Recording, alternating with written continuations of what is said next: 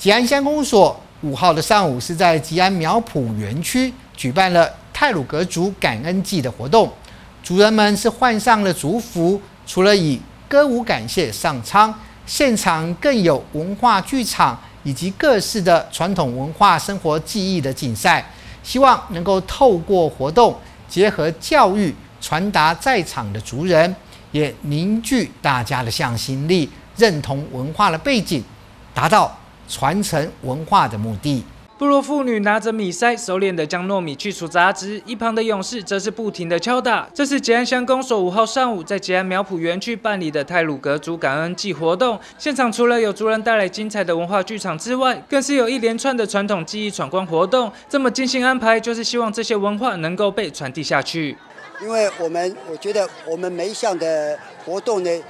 不仅是在娱乐当中有文化的一个传承，最重要就是我们的在教育的部分，也让他们知道我们德鲁古的一些文化啊，那个记忆，还有我们的那个我们的嘎雅，也就是我们的品德。前乡长尤淑珍也穿上泰鲁格族服来到现场，跟随部落族人们以载歌载舞的方式来感谢上苍。他表示，希望能借由文化祭典及交流活动，唤起族群的重视及包容，也希望能让族人从小认同参与部落文化的传承工作。今天是我们德鲁古哦感恩祭，在我们今天的感恩祭里面，有别于传统的，是把过去感恩祭我们德鲁古的文化跟所有的。记忆跟传承放到今天的这样的活动里面，让我们的小朋友，让我们的子子孙孙可以来学习过去织布、煮米饭、德鲁固跟大家不一样的一个过去的。文化跟我们的译文也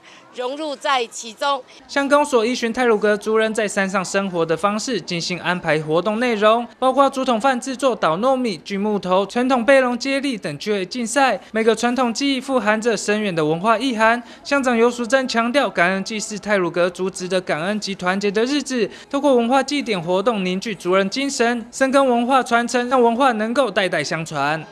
记者徐立琴简乡报道。